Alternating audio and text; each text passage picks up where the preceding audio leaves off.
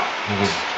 大家好，我是于任。这一次来聊聊《世纪帝国二》决定版的相关文明的介绍。上一次我们把最早以前的版本，也就是《帝王世纪》的内容聊完了。这一次我们依照更新的顺序，以它的 DLC 的更新顺序来当做排序，我们来聊《征服者入侵》，也就是比较古老的呃版本。它 DLC 更新后的一些文明的相关介绍。首先，我们来聊到西班牙。西班牙在世界帝国当中算是比较，也算是比较老文明。虽然比啊我们看到帝王世纪的文明来的年轻一些，但它的整体强度以及科技线的安排上算是啊比较完善的一个文明。虽然它有几个缺点啊，包含它的工兵只有一级。它并没有弩兵这些小小问题。好了，来聊一下它的相关的科技与它的一些加成。首先呢，它的建筑物的建造速度提高三十趴，这一个受益是受益于它的村民的建造速度，而这一个建造速度是在啊，如果正常来讲，如你的文明有模仿水车，也就是起重机。也必须在城堡时代才能获得加快二十帕的建造速度，但在西班牙，它的加成上它是直接获得，所以西班牙它可以更快的建造，包含像民房，包含像呃军营这些建筑，而最常拿来玩的就是呃上空间时代去插别人箭塔，这一个战术是不是最常见到，甚至是防御别人插箭塔跟别人对插箭塔的情况下。西班牙这个三十帕的加人速度通常会无往不利，而就如果对面他并没有这么做，而西班牙也没有打算做这件事情，西班牙在上城堡的时候插城堡，也可以更快在战略要地上或者是在防守的情况下把城堡建起，这是西班牙一个很有效的建筑加速的呃能力。接下来他的兵工厂免于升级免黄金。这个技能呢，该怎么说？有些尴尬。对于某一些玩家的想法来说，会觉得，呃，通常整个游戏的早期到我们看到中期这段时间，就是我们看到黑暗时代入到城堡时代初期这段时间，通常来说，黄金的消耗实际上并不如食物的消耗，除非你是玩类似像弓箭民族，它的食物消耗可能会比较少，不然。消耗免于黄金这件事情，它就会变得呃，减免上比较少一些。当然还是有一定量强度啊，毕竟你可以靠减免的这些黄金呢，在上城堡时代时去生产更多的骑士，或者是研究包含像弹道学这一些。但对于西班牙人来说，他的免于黄金虽然有这个兵工厂可以不用免免不用黄金去升级，但也因为他的射箭场没有。啊，他的工兵线趋近于残缺，没有弩兵，也没有枪弩兵，这也使得他的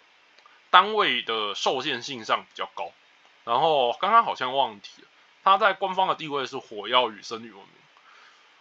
基本上他的火药的强度算是在早期来讲算比较强的文明之一。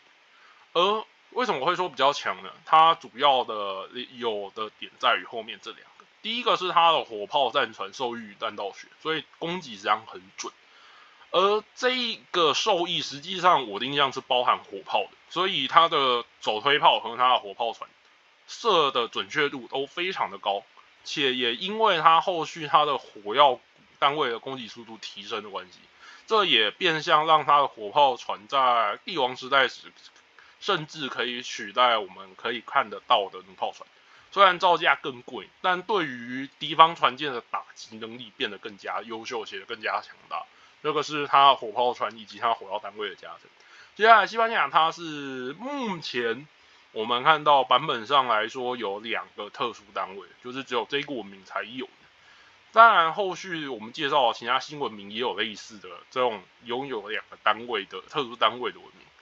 但这应该是我们第一个介绍到，第一个是他的西班牙征服者，也俗称马上火枪兵。但实际上，愚人个人认为是用西班牙征服者不太对。在历史上来讲，的确西班牙有组织过马上的诶啊卡宾骑兵团，就是他有所谓的马上火枪兵这种东西是真的有，但他把呃官方把它取代一名西班牙征服者，可能是为了对应征服者入侵当中西班牙对上呃就是地大发现发现南。南诶，我们看到美洲之后，他对美洲的一些呃进攻活动，所以才选择取名叫西班牙征服者。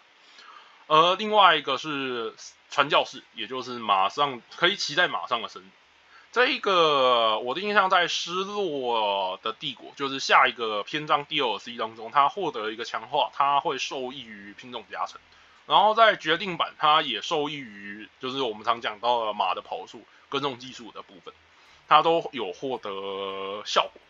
而这个等一下我们会在后续介绍。而特殊科技是异端审判和霸权这两个，等一下我们会做介绍。团队加成呢，这个团队加成它并不能影响单，就是呃我们看到一对一比赛，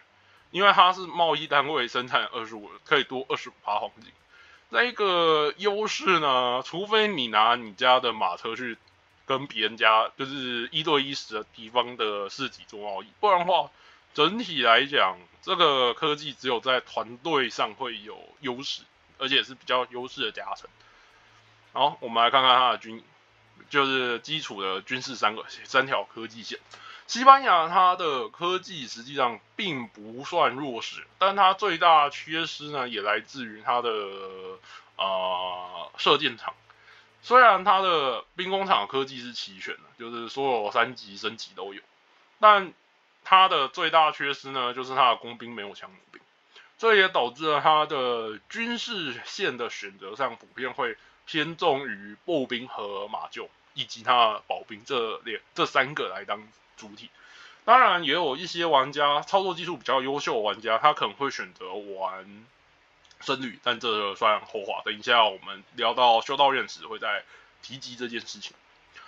首先看他的军营，他的军营实际上科技算完整，就是没有南美洲的科技。除此之外，整体来讲就算呃中等偏上，至少科技线都有，但是它没有步兵加成。第二个是它的射箭场，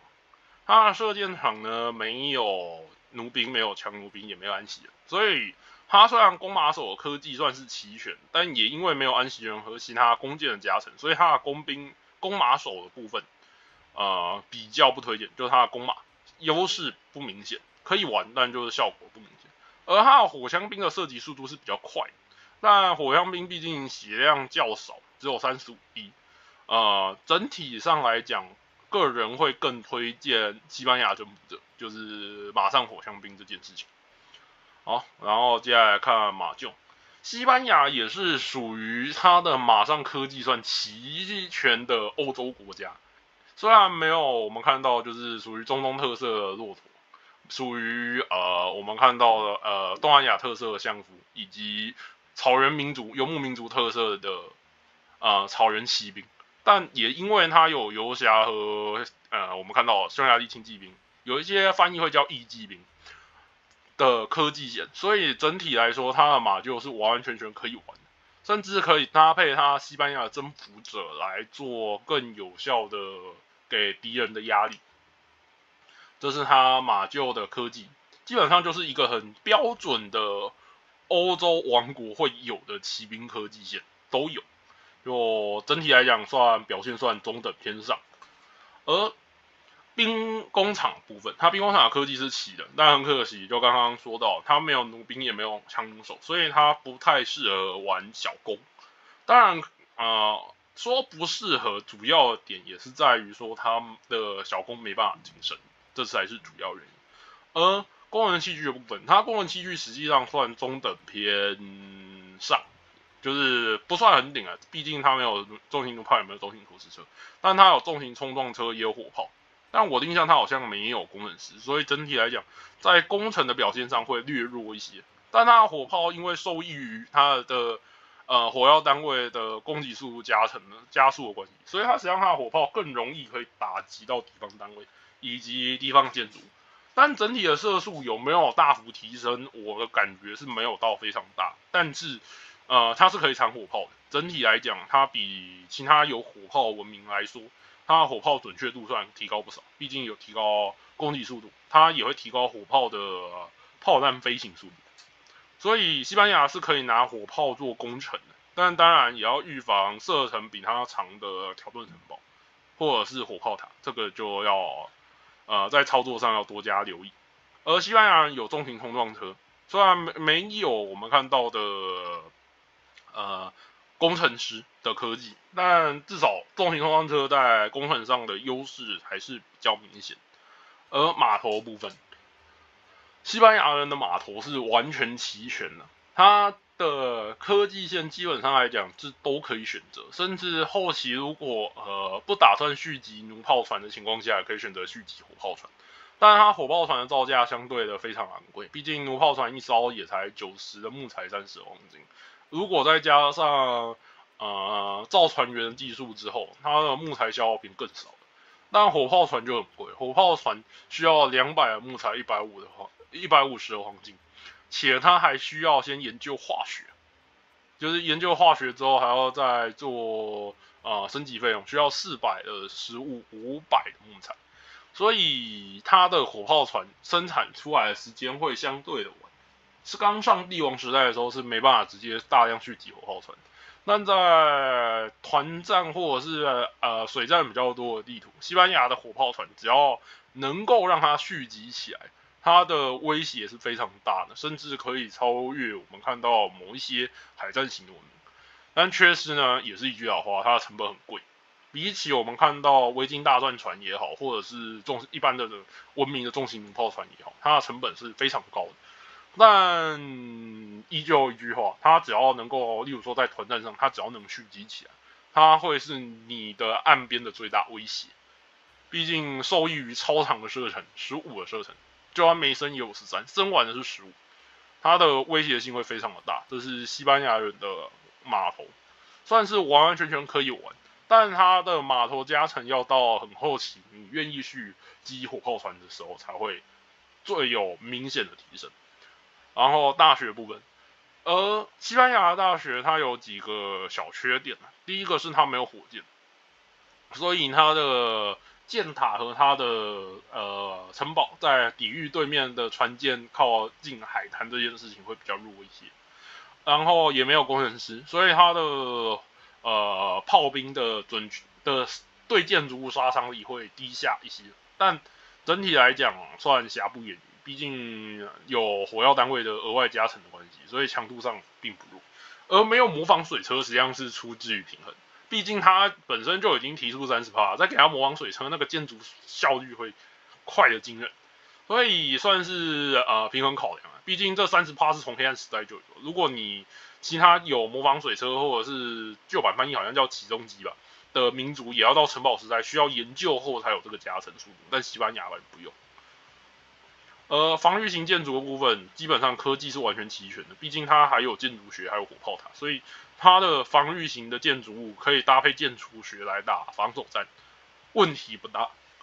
然后城堡的内容，城堡它的西班牙征服者呢有一个比较大硬伤射程。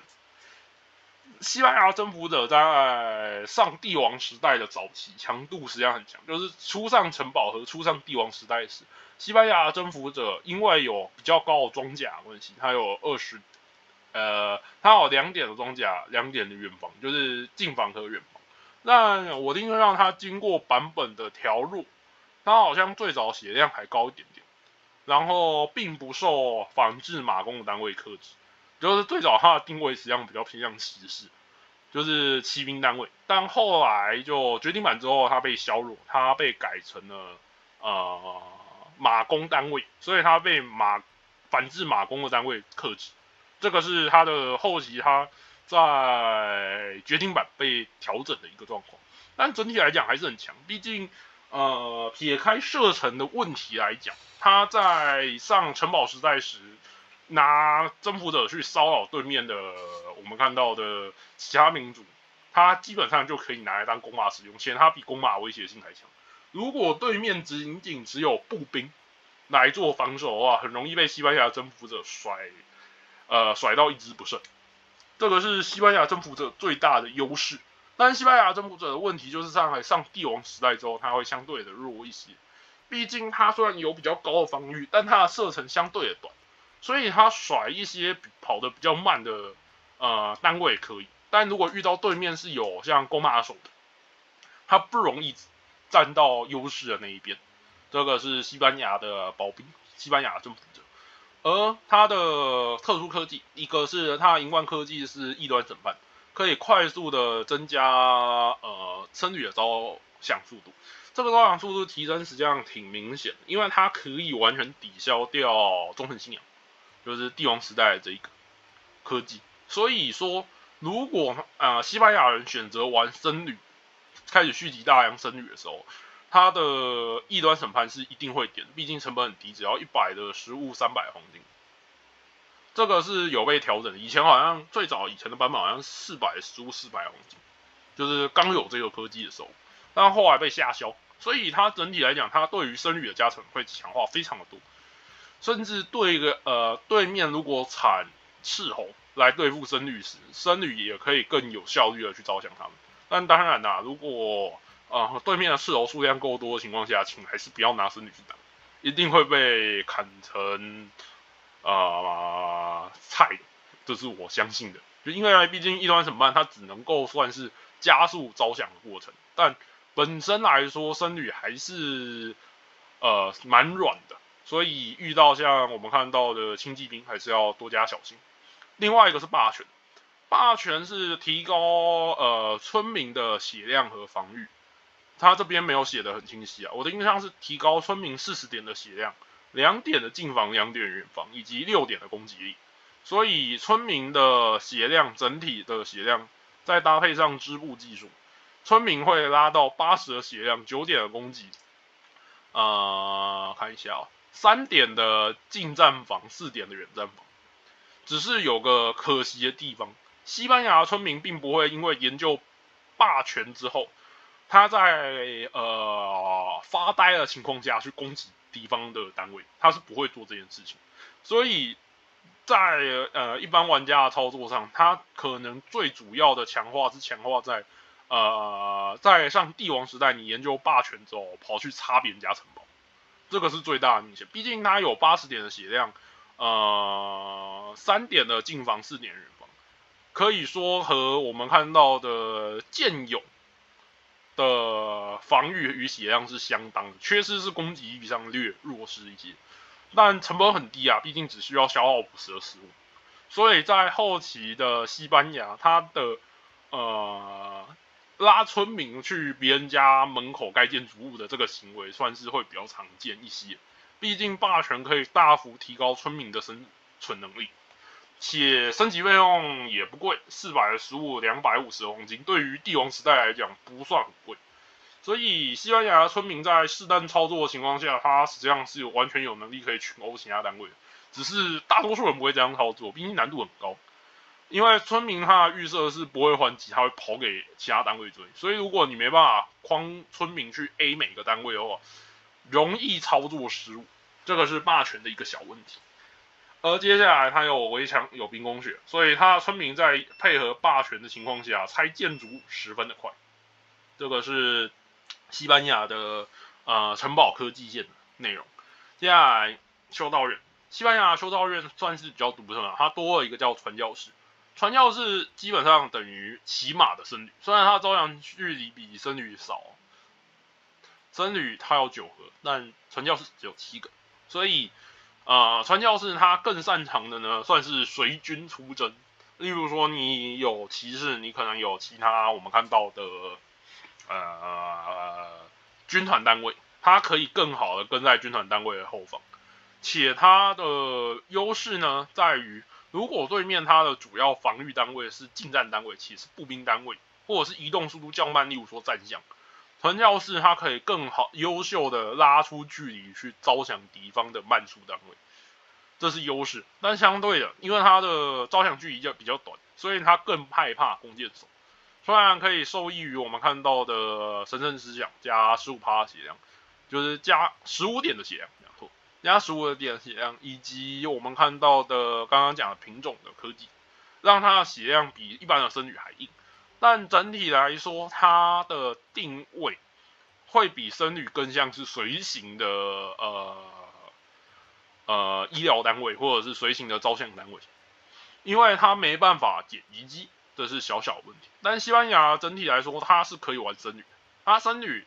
的硬度虽然没有更硬，但它因为它的这一个异端审判的关系，所以它的照相速度十分的快。这也让西班牙它是可以选择城堡时代开始去僧侣或者是传教士来做呃牵压的，只是比较可惜的地方，通常僧侣会搭配弓箭手或投石车，那西班牙这两个都没有，它的投石车没有到中型投石车，所以在帝王时代会略弱一点，而弓箭手也没有强弩兵，所以它的搭配选择上会比较局限一些，可能还是要。靠长江兵或者是靠骑士来做啊配合。整体来讲，西班牙的僧侣与传教士算是强大的，毕竟还有异端审判的这一个加速招降速度的科技的关系，且它的整个科技都是有，包含有赎罪思想可以招建筑物，就是哎讲错，可以招降对面的僧侣，也有救赎思想可以招对面的建筑，这些科基础比较重要的科技它是都有，所以。呃，西班牙玩修道院实际上还是有一定量的威胁性在。而经济的部分，西班牙比较可惜的地方是它没有采金装置，所以它的黄金收取率会比较差一些。而它的兵工厂虽然免于黄金，但依旧一句话，它前期通常会比较缺食物，因为大多数的科技都需要食物，例如说什么双面斧啊、什么采石技术啊，包含生科技时代都一样，它都是需要消耗食物的。你看，五百的食物，八百的食物，一千的食物，所以它的黄金煤啊的采集速度比较慢，所以导致它的有一些单位的蓄积，或者是我们看到的呃单位选择上要比较在意一些。而其他的科技没有轮重，但有双双刃锯，所以整体来讲，西班牙经济能力并不差，后期也有所谓工会制度去减免我们看到物资交易的费用。西班牙比较常见的这一期比较久，然后大约再嘴一下。西班牙通常比较常见的战术会是西班牙征服者，这一个是比较常出现的套路。而另外比较少见的，就刚刚讲到玩僧侣线，就是通常来讲，西班牙如果在封建时代没发力，普遍会到城堡时代才会开始做这两件事情。而如果在封建时代发力，就是刚刚讲到，他普遍会选择玩，呃，我们看到的装甲塔，就是步兵魂。村民盖建塔，另外一个就是上城堡时代开始正面蓄气势，但这个比例比较少，毕竟西班牙人并没有强化呃马厩的生产效率以及其他的科技。好了，那么这一期我们的呃鬼扯淡环节就到这，那么我是愿，我们下一期再见。